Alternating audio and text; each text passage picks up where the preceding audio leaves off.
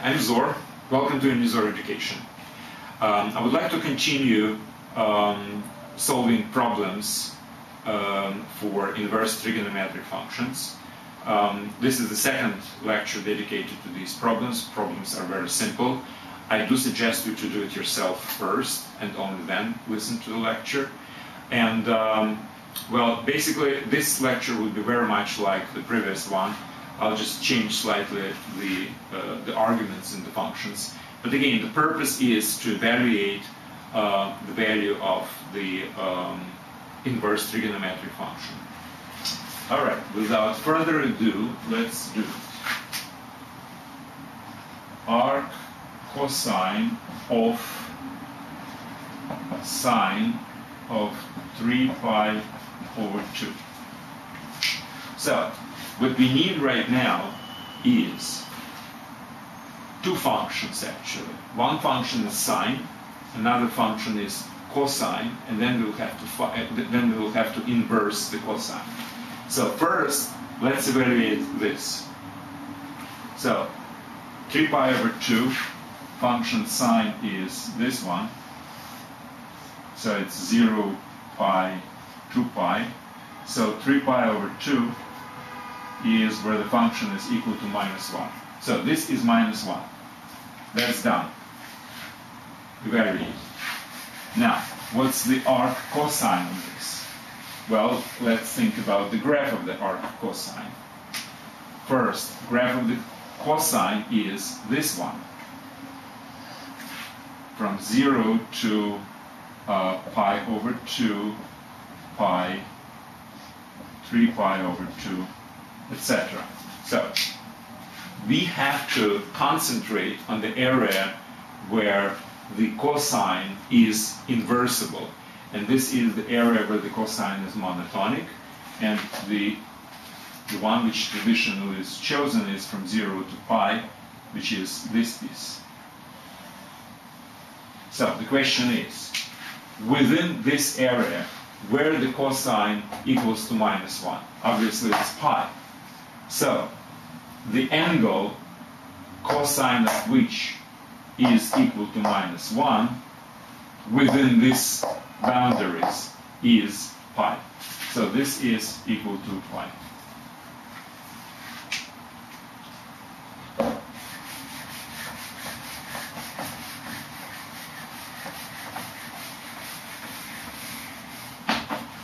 Next. Arc sine of cosine of minus pi.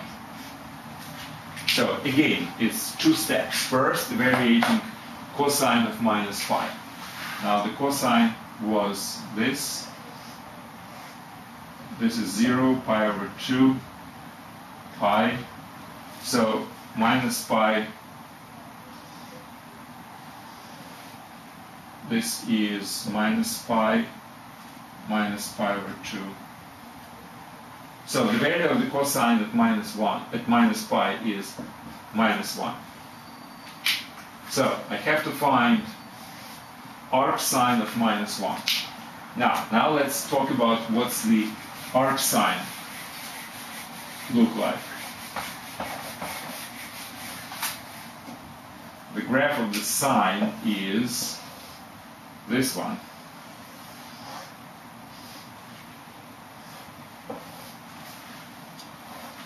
The area where the sine is monotonic is this one. From minus pi over 2 to pi over 2.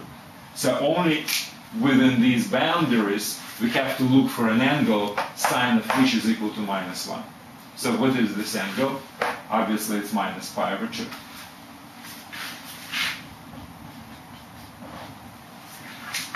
That's the, that's the answer.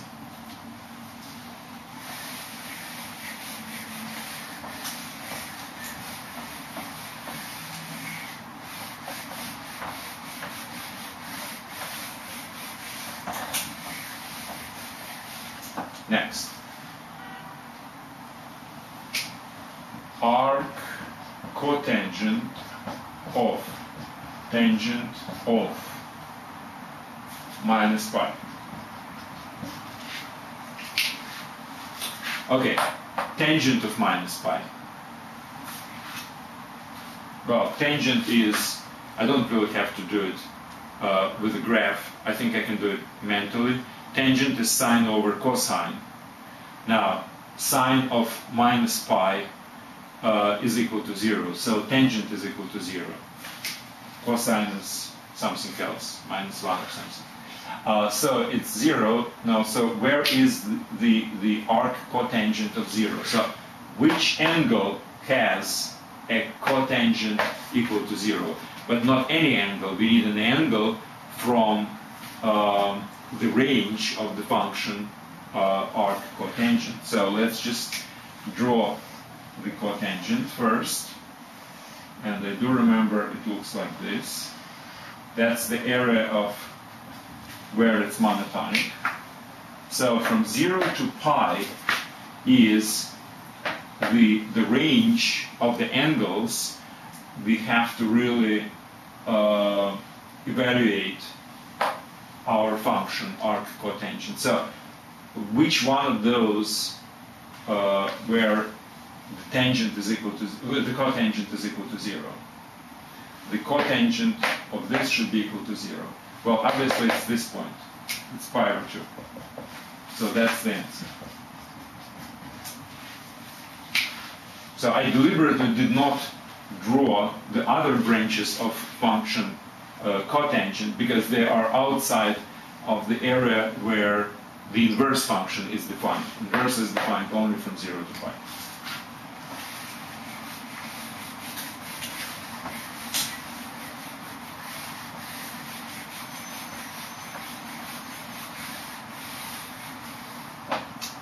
Next, arc tangent of cotangent of 3 pi over 2. Okay, now I just draw the cotangent, I'll just re uh, I'll repeat it.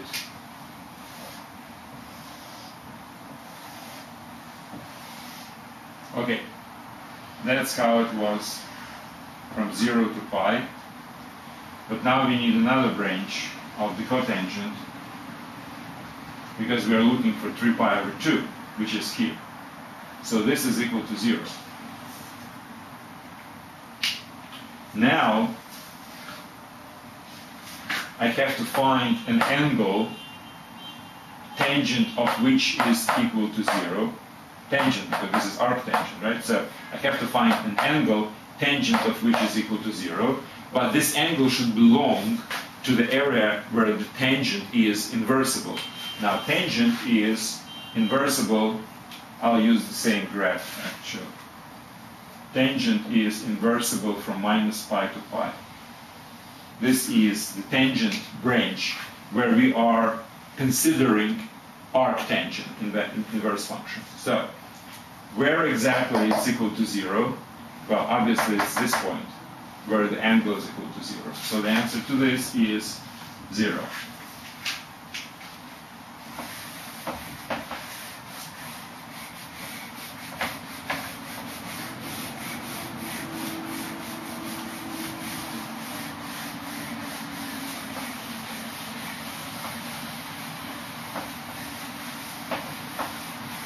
Okay. Two more. Arc secant of secant of minus 2 pi. Arc secant of, sorry, arc cosecant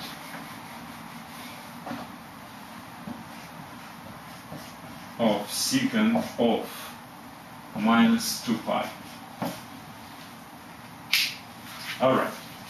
Now, secant is 1 over cosine, right? Um, 2 pi is a period of the cosine. So, the cosine of minus 2 pi is the same as a cosine of 0, right? I just added 2 pi, the period, to the argument. And cosine of 0, we do remember what it is, it's 1. So this is 1. Now let's talk about cosecant. Cosecant is 1 over sine.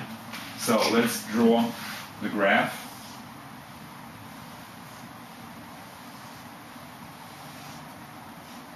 Now sine is equal to 0 at 0, pi, 2 pi, minus pi.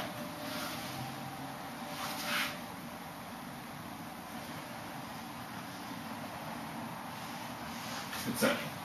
So 1 over uh, sine, which is the cosecant, would be obviously this.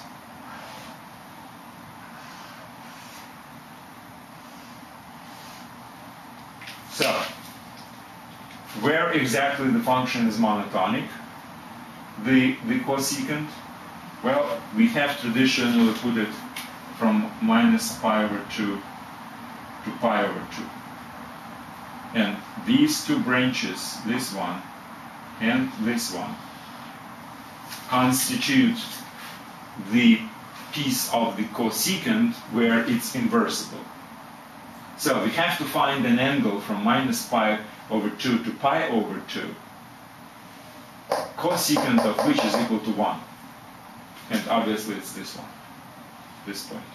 This is 1. So it's pi over 2. Result is pi over 2. That's the answer.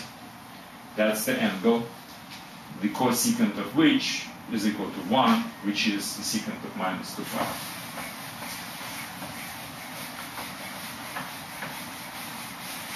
And the last problem in this series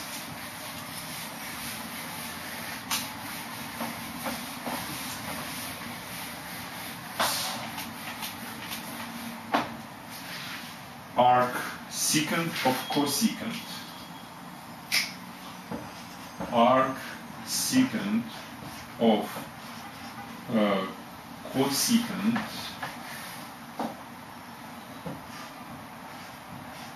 of minus 3 pi over, over 2.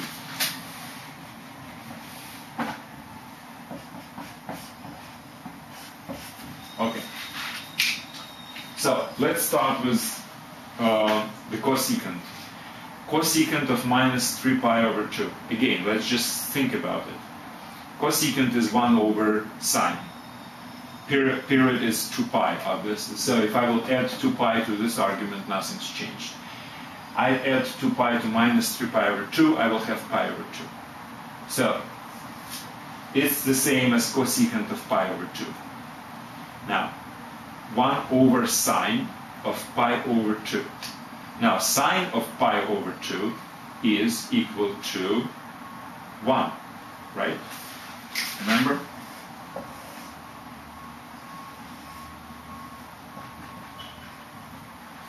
One. So one over would be one as well.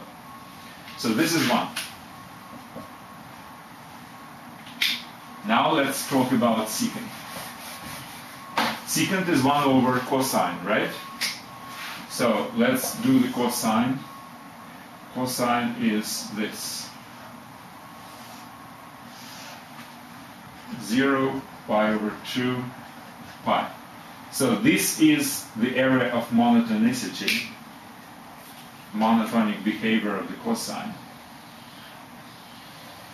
So we have to find our angle from 0 to pi. Now, the graph of the uh, secant would be this. So that's where we have to really look for the value of 1.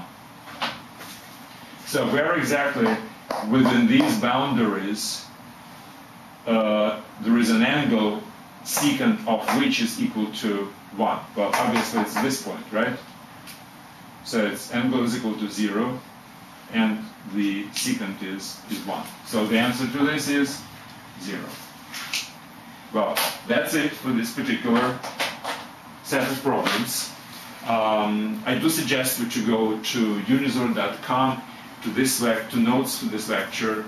That's where you have all the problems and, and answers actually as well. And try to do it yourself using basically the same technique. Well, other than that, thank you very much and good luck.